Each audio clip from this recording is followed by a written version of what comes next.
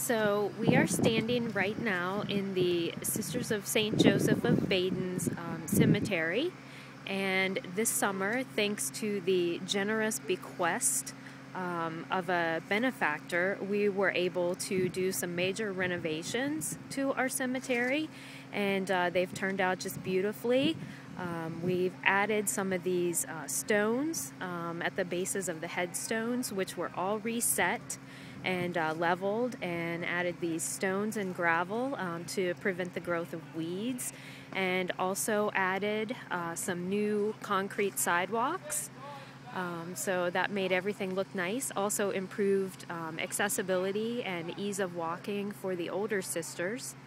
And uh, today they are capping off um, the renovation by installing a new um, 3,000 pound granite crucifix, which replaces the old crucifix here, which uh, had been weathered by the elements. So today they're um, resetting the crucifix, and um, by next spring or summer, the um, renovations of the Sister Cemetery will be complete.